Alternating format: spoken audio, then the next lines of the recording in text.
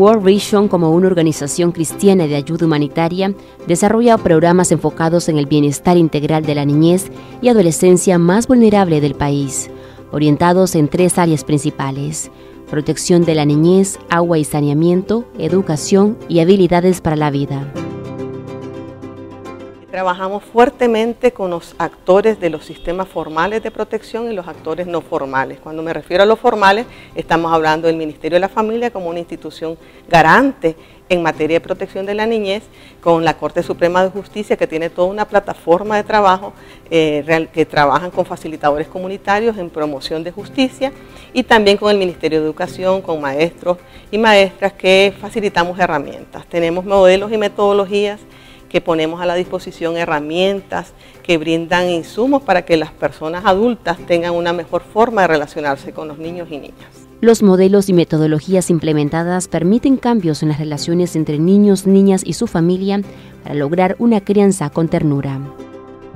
Crianza con Ternura es un modelo que brinda herramientas donde, por ejemplo, Bálsamo de la Ternura nos permite, partir de nuestra experiencia personal y resignificar esas experiencias del pasado que pudieron marcar nuestra forma de cómo nos relacionamos con niños y niñas. Entonces tenemos maestros, maestras, madres, padres que han pasado por procesos de formación y que a partir de esta experiencia ellos pueden resignificar su relación y tener relaciones más armoniosas con sus hijos.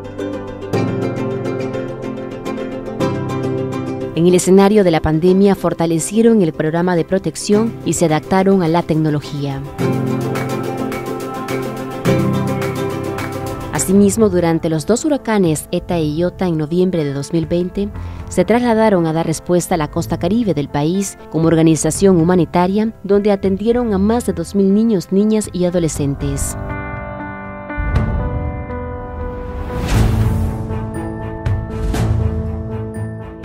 desde el programa técnico de protección, este, Visión Mundial en situaciones de crisis y de emergencia, responde con un modelo que se llama Niñez en situación de crisis de emergencia. Eh, cuando entramos a una comunidad que ha sido afectada por una emergencia y en este caso por el impacto de los huracanes, eh, Visión Mundial lo que primero realiza es un diagnóstico rápido de las necesidades más urgentes que tienen los niños y niñas porque por lo general los diagnósticos que se realizan son de las necesidades de habitación, de casa, de alimentos. Nos interesaba en este contexto de situaciones de emergencia eh, que hubiese una esperanza, un resurgimiento de la esperanza en los niños en una situación donde pasaron situaciones muy tristes de pérdidas y cómo podíamos con ellos hacer todo ese manejo de emociones, la recuperación de la, espiritualidad y el que no perdieran esperanza. Pero muchas veces el tema de protección y las necesidades más urgentes de los niños y niñas no son visibilizadas. Para conseguir un cambio social y ofrecer respuesta en momentos vulnerables, se necesita de alianzas entre organizaciones, empresa privada, instituciones y Estado. Gracias al, Señor logramos también captar más fondos y vamos a estar en una intervención de seis meses porque la primera respuesta que se hizo fue pues de emergencia, como así lo dice la, intervención, pero ahora se ha este, diseñado un proyecto más estructurado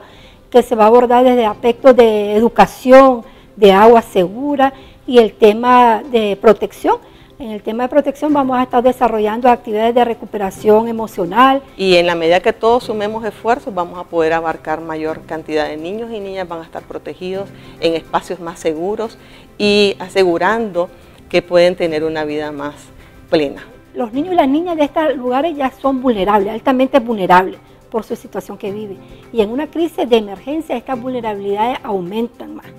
porque eh, hay necesidades económicas, muchos niños o, madres este, pueden prestar a sus niños y niñas para explotación sexual, permiten que los niños y niñas salgan de las comunidades también. Muchos niños están saliendo del área rural o de las comunidades a, a, a Bilwi a buscar trabajo y sabemos que todo esto también expone y los expone a un riesgo a los niños y niñas. Esta organización cristiana contribuye a que niños, niñas y adolescentes tengan mejor calidad de vida en nuestro país.